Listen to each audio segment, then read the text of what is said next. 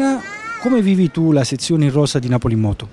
E dunque, noi questa passione ci è stata trasferita diciamo, dai nostri mariti, fidanzati, ragazzi e quindi viviamo con loro questa passione di uscire in moto, di stare insieme in questa avventura sulle moto. Alessia, perché andare in moto è un'avventura?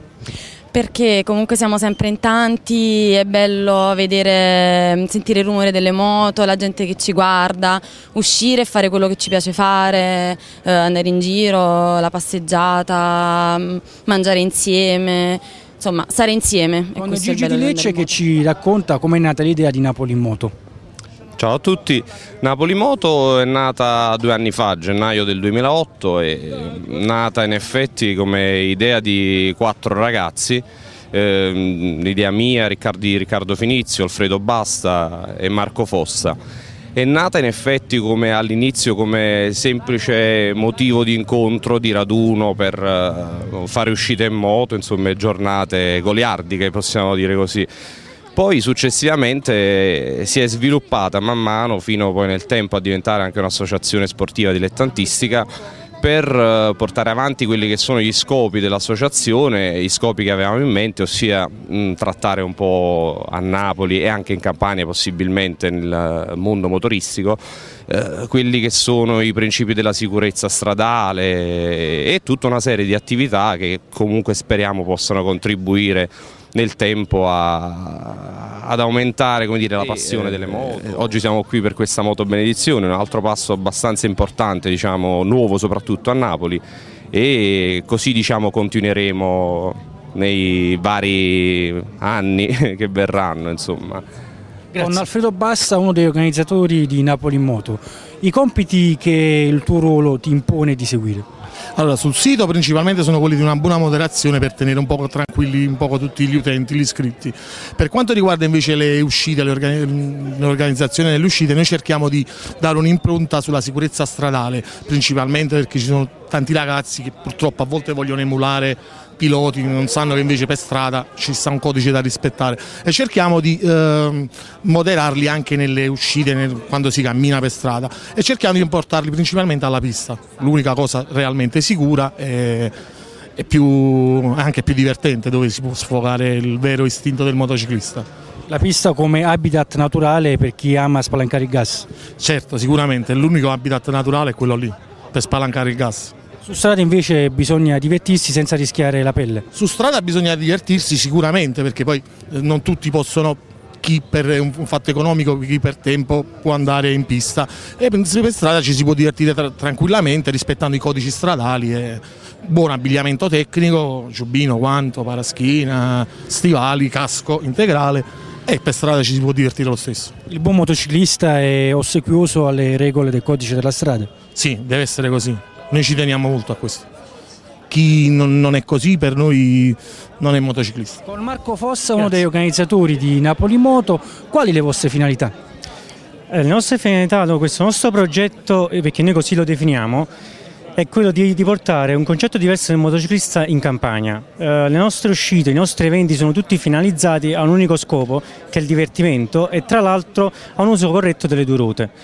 Questo fa sì che i nostri eventi, ripeto, e le nostre manifestazioni sono sempre più gremite di persone perché eh, a differenza di quello che la gente crede che il motociclista è una persona eh, che si vuole divertire correndo, in realtà il motociclista è una persona che vuole divertirsi stando insieme.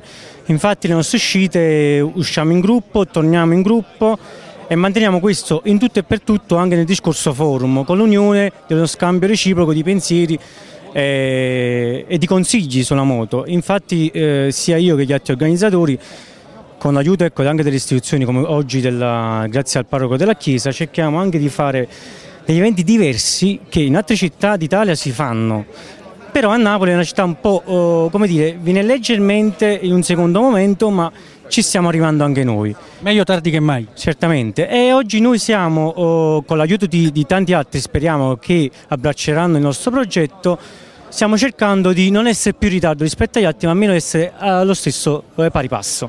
Il motociclismo è anche cultura? Certamente perché eh, bisogna acculturarsi bene sul mondo delle due ruote, sul tema della sicurezza, sul tema dell'abbigliamento, sul tema delle strade.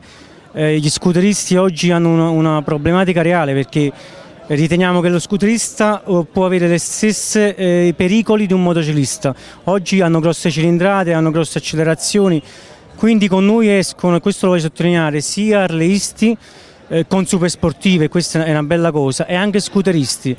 Questo perché basta rispettare il codice della strada. Oggi, ripeto, gli scooter raggiungono tranquillamente la velocità di codice, si arriva, ci si spiega mano a mano anche come funziona un gruppo come si segnala un, un, un, pericolo, come si segnala quando si svolta cioè in maniera uh, anticipata. Tutte queste cose istradono a un utilizzo corretto. Ripeto, noi stiamo facendo questo da due anni, eh, certamente i primi tempi come tutti sono stati difficili, però la tenacia e la costanza ci portano questi risultati e penso che oggi sono, sono ben visibili a tutti. Grazie, prego. Con l'assessore all'ambiente Gennaro Nasti il motociclista sfata un tabù. Ah sì, sicuramente è una mattinata molto sorprendente oggi perché vedere tanti motociclisti ordinati, attenti peraltro a un incontro con eh, la Chiesa per quanto riguarda la campagna di sicurezza stradale sicuramente sfata un tabù effettivamente, è un'immagine diversa che sicuramente eh, fa scoprire una piacevole sorpresa a tutti quanti noi, quindi ben vengano questo tipo di iniziative perché sono sicuramente positive e soprattutto nel momento stesso in cui ci si riflette su quelli che sono i temi della sicurezza stradale è sicuramente un aspetto molto positivo. Come le istituzioni sono sensibili alle richieste dei motociclisti? Bah, a me come assessore anche ai parchi, il parroco e gli organizzatori hanno chiesto il parco, subito siamo stati ben felici di darlo, se poi arrivano altre richieste a disposizione, fermo restando che dire, a Napoli gli spazi per i motociclisti penso che tutto sommato, essendo una città abbastanza libera, ci sono. La, la, parte più sportiva forse riguarda altre zone del territorio nazionale, penso la grande tradizione che c'è in Emilia, dall'Emilia in su, però noi siamo comunque sempre disponibili a, a secondare un, un, un, tipo di cittadinanza che magari vive sotto dei, dei cliché, degli stereotipi che poi non corrispondono alla realtà. I motociclisti sono prima loro dei cittadini che hanno i loro diritti, hanno i loro doveri e che sicuramente vanno sempre tutelati innanzitutto. Grazie. Prego. Con Riccardo Finizio, uno dei organizzatori di Napoli in Moto, organizzazione che vanta ben 800 iscritti. Riccardo, un impegno importante il vostro? Sì, un impegno importante, un impegno nuovo per generare un punto di aggregazione nel mondo moto Campano che diciamo, fino ad oggi latitava di, un, di, un, di, una figura che riuscisse a generare un punto di unione e anche di corretto utilizzo della motocicletta, nel senso che le moto super sportive per portarle in pista, quindi la vita della pista vissuta in modo sano, eh, quindi una corretta competizione, quindi senza mai mettersi a rischio, le uscite per strada eh, con scopi che sono dei più vari, da andare a visitare le grotte di Pastena, quindi anche da aspetti culturali e anche alimentari che sono fondamentali perché diciamo sì, il connubio moto cibo è sempre qualcosa di molto particolare, molto accattivante.